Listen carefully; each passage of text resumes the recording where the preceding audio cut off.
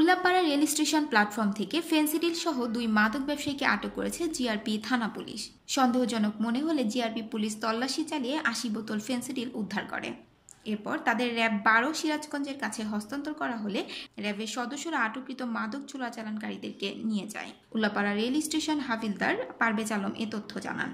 আটককৃতদের নামে উল্লাপাড়া মডেল থানায় মাদক দ্রব্য নিয়ন্ত্রণ আইনে মামলা প্রক্রিয়াধীন আছে। সিরাজগঞ্জ থেকে মইনুল হোসাইন পল্লী টিভি।